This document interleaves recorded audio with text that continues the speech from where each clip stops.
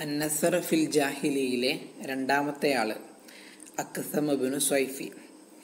ചെറിയൊരു വിശദീകരണം മാത്രമാണ് നൽകുന്നത്. കാരണം പോയിന്റ്സ് ഒക്കെ എഴുതിയിട്ടുണ്ട്. ഒന്ന് കണ്ട് മനസ്സിലാക്കുക. മുഴുവൻ പേര് അബു ഹഫാദ് അക്കസമബിനു റബാഹ് ഇബിനു ഹാരിസ് ഇബിനു മഹാസ് ഇബിനു സ്വൈഫി അത്തമീമി. അദ്ദേഹം ഖത്തീബാണ് ഒരു ഹക്കീമാണ്. മിൻ അഹലിൽ ഹിജാസ്. ഹിജാസുകാരനാണ്. അസുൽ ഫാരിസിയാണ്. കുനിയത്ത് അബു ഹഫാദ്. അദ്ദേഹത്തിന്റെ കബീല തമീം ഗോത്രക്കാരനാണ് അദ്ദേഹം. അതുപോലെ രണ്ട് ലക്കബാണ് അദ്ദേഹത്തിനുള്ളത്. ഹക്കീമുൽ അറബ് സ്വഹാബിയുൻ. ഈ രണ്ട് ലക്കബുണ്ട്. അതിൽ തന്നെ ഹക്കീമുൽ അറബാണ് കൂടുതൽ അറിയപ്പെട്ടത്. അക്സം എന്നുള്ള പേര് വന്നത്. ഈ പേരിന്റെ അർത്ഥം അലുമുൽ ബത്തുക്ക് എന്നാണ്. എന്ന് പറയുമ്പോൾ ഈ ജന്മന പ്രസംഗിക്കാൻ കഴിവുള്ളവൻ എന്ന അർത്ഥത്തിലാണ് അക്സം എന്നുള്ള പേര് ഉള്ളത് എന്നാണ് പറയുന്നത്. അദ്ദേഹത്തിന്റെ രണ്ട് അമ്മാവന്മാരെ കുറിച്ച് പറയുന്നുണ്ട് അമ്മിനെ കുറിച്ച്. അത് രണ്ടും സ്വഹാബിമാരാണ്. അതുകൊണ്ടാണ് അത് കോട്ട് ചെയ്ത് പറയുന്നത്. ഹൻല അതേപോലെ റബ അബിൻ റബിയ രണ്ട് സ്വഹാബിമാരെ കുറിച്ച് പറയുന്നുണ്ട്. അദ്ദേഹത്തെ പറ്റി പറയാറുള്ളതാണ് അവലുമൻ കാലൽ മസൽ മസൽ എന്നുള്ള മേഖല ആദ്യമായിട്ട് കൊണ്ടുവന്നത് അദ്ദേഹമാണ്. അതേപോലെ കിസറ രാജാക്കന്മാരുടെ മുമ്പിൽ ആദ്യമായിട്ട് പ്രസംഗിച്ച വ്യക്തി അവലുമൻ തക്കല്ലമ അമാമൽ കിസറ. പേർഷ്യൻ രാജാക്കന്മാരുടെ മുമ്പിൽ ആദ്യമായിട്ട് പ്രസംഗിച്ചത്. പിന്നെ കിസറ രാജാവ് അനുഷിർവാൻ അദ്ദേഹത്തെക്കുറിച്ച് പറഞ്ഞ ഒരു ഫേമസ് ആയിട്ടുള്ള കോട്ടിംഗ് ആണ് ലൗ ലം യക്കുൻ ലിൽ അറബ് വൈറുഹു ലഖഫ എന്ന് പറഞ്ഞിട്ടുള്ള ഒരു കോട്ടിംഗ് അത് വളരെ ഫേമസ് ആട്ടോ. ലൗ ലം യക്കുൻ ലിൽ അറബ് എന്നാണ്. അവിടെ ആ ലാവ് പോയിട്ടുണ്ട്. അതൊന്ന് ശ്രദ്ധിക്കാം.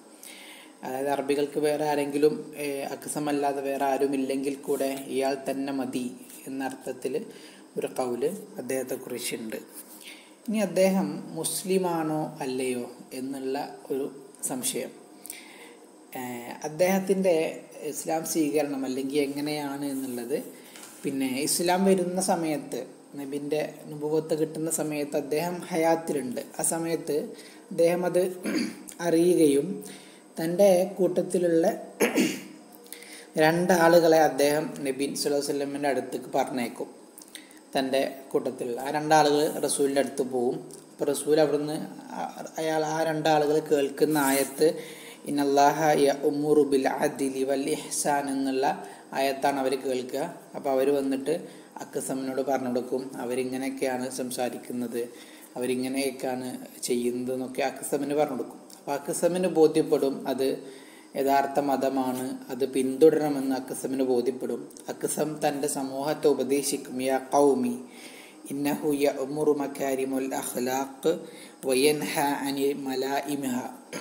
അവർ നന്മ കൽപ്പിക്കുകയും തിന്മ വിരോധിക്കുകയും ഒക്കെ ചെയ്യുന്ന ഒരു സമൂഹമാണ് എന്ന് പറഞ്ഞ് അവരെ പിന്തുടരണമെന്ന് തന്റെ സമൂഹത്തെ അക്കസം ഉപദേശിക്കും. അങ്ങനെ തന്റെ സമൂഹത്തിലുള്ള ഒരു കുറച്ച് ആളുകളെയും കൂട്ടി നൂറാളുകൾ എന്ന് പറയുന്നു.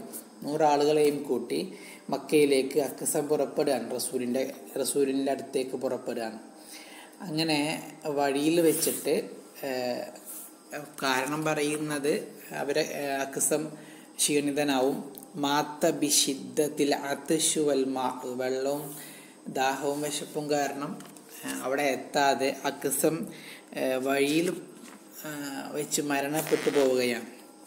ആ മരണപ്പെടുന്നതിന് മുമ്പായിട്ട് അക്സം തന്റെ സമൂ സമൂഹത്തിന് മുമ്പിൽ വെച്ചിട്ട് ആ നൂറാളുകളുടെ മുമ്പിൽ വെച്ചിട്ട് എന്ത് ചെയ്തിട്ടുണ്ട്? ഇസ്ലാം സ്വീകരിക്കുന്നുണ്ട്. ഷഹാദത്ത് ചൊല്ലുന്നുമുണ്ട് റസൂലിനെ നിങ്ങൾ ഇത്തിബാ ചെയ്യണം എന്ന് പറഞ്ഞിട്ട് അവരെ വസീയത്ത് ചെയ്ത് പറഞ്ഞയക്കുന്നുണ്ട്. ഇതാണ് നമുക്ക് ചരിത്രത്തിൽ കാണാൻ പറ്റുന്ന സംഭവം.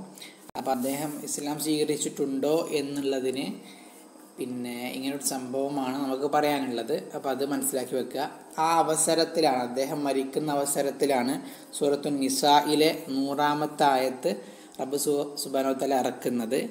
മയ്യു ഫി സബീലില്ല എന്ന് പറഞ്ഞിട്ടുള്ള ആ ആയത്ത് അക്സമിന്റെ മരണവുമായി ബന്ധപ്പെട്ടിട്ടാണ് ഇറങ്ങുന്നത്. അദ്ദേഹം ഇസ്ലാം ഇസ്ലാം വന്നതിന് മൂന്ന് കൊല്ലം കഴിഞ്ഞിട്ടാണ് അദ്ദേഹം മരണപ്പെട്ടു പോകുന്നത്. അതൊന്ന് മനസ്സിലാക്കുക.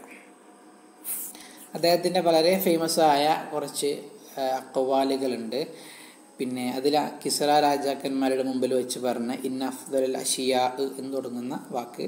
അതേപോലെ മലിക് ഹിജറിന് എഴുതിയ ഒരു വാക്കുണ്ട്. അത് വളരെ ഫേമസ് ആണ്. ഇതാണ് സാധാരണ ചോദിക്കാറുള്ളത് കേട്ടോ.